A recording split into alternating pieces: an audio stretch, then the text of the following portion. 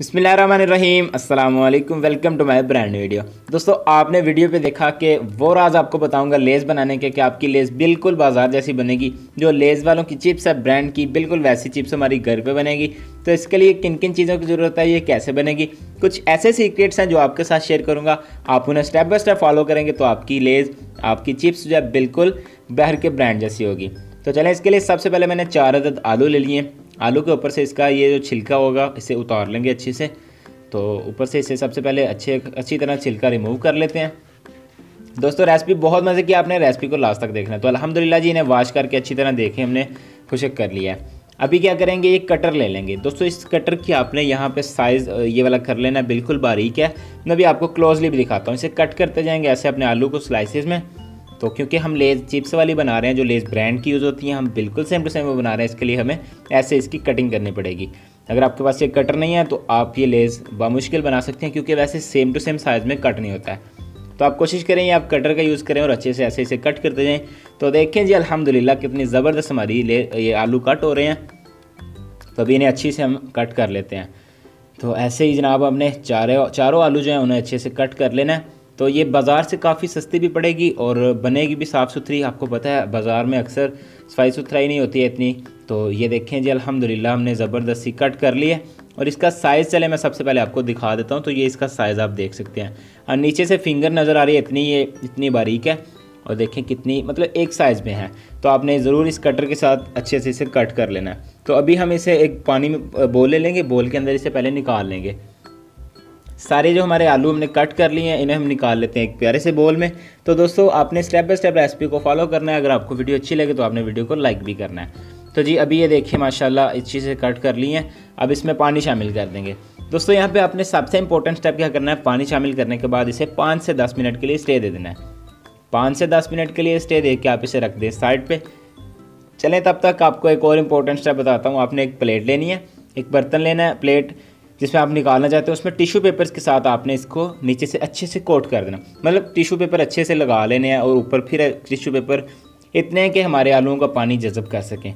चलें जी, वो हमने कर लिया। अब एक और बोल ले लिया, उसमें हमने पानी ले लिया, सादा पानी, साफ़ पानी।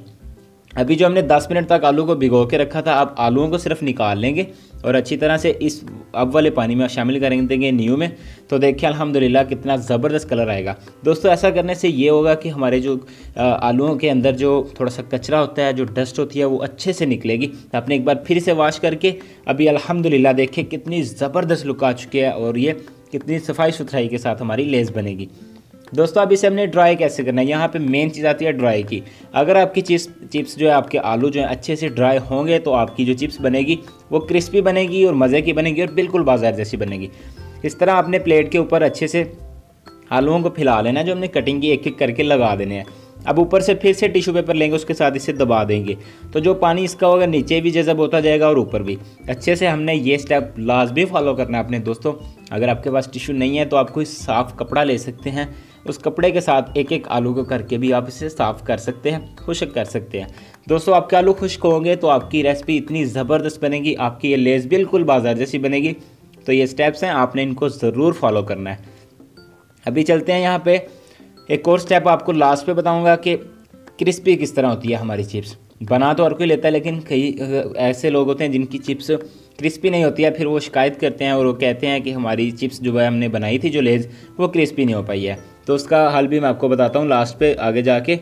तो इसके लिए देखें जब हमने अच्छी तरह से ड्राई कर लिए हैं आलू स्लाइसिस को, अब हमने कढ़ाई के अंदर ऑयल गर्म कर लेना। ऑयल को अच्छे से गर्म करना है आपने, ठंडा ऑयल नहीं होना चाहिए आपका, बिल्कुल भी।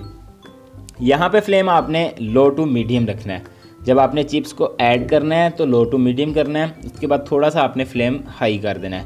जब आपको लगे कि अच्छे से चिप्स बनने लग गई है मतलब पकने लग गई है तो आपने दोस्तों दो से ढाई मिनट तेज़ आँच पे, इतनी ज़्यादा तेज़ भी नहीं, दो से ढाई मिनट इसे पकाएँगे, एक बार मिक्स करके हिला लें अच्छे से। तो देखें जी, अल्हम्दुलिल्लाह, जब आप देखें कि इसका कलर बहुत ज़बरदस्त हो चुका है और ब्राउन नहीं करना है, बस लाइट ब्राउन हो तो और अंदर से ये पक पक की हो ना। अब यहाँ पे आपने सबसे इंपॉर्टेंट स्टेप इसे सारी को निकाल लेना है और ऑयल को अच्छे से गर्म करना है। अब हमने ऑयल को अच्छे से गर्म किया, दोबारा वापस चिप्स ऑयल में ऐड कर देंगे। ऐसा करने से ही होगा कि दोस्तों फिर से एक, एक से डेढ़ मिनट पकाएँगे तो क्रिस्पी हो जाएगी इतनी क्रंची हो जाएगी और बहुत मज़े की हो जाएगी। तो चलिए इसे निकालते हैं और फाइनल लुक की तरफ़ चलते हैं। तो माशाल्लाह दोस्तों ये बिल्कुल बाज़ार जैसी बनी है। आपने इस रेसिपी को ज़रूर ट्राई करना और मुझे अपने कमेंट बॉक्स में बताना है कि आपकी लेस भी बिल्कुल बाज़ार जैसी बनी है या नहीं। सो आई होप कि आप वीडियो को स्टेप बाय स्टेप फॉलो करेंगे तो आपकी रेसिपी सेम टू सेम ऐसे बनेगी। चलें अब इसे तोड़ के देखते हैं क्या ये सच में क्रंची है और क्रिस्पी है। तो माशाल्लाह देखिए, बिल्कुल बिल्कुल ब्रांड की लेस की जैसी है। वीडियो अच्छी लगे दोस्तों तो वीडियो को लाइक करना ना भूलिएगा शेयर कीजिएगा सब्सक्राइब कीजिएगा चैनल को। थैंक यू सो मच अल्लाह हाफिज़।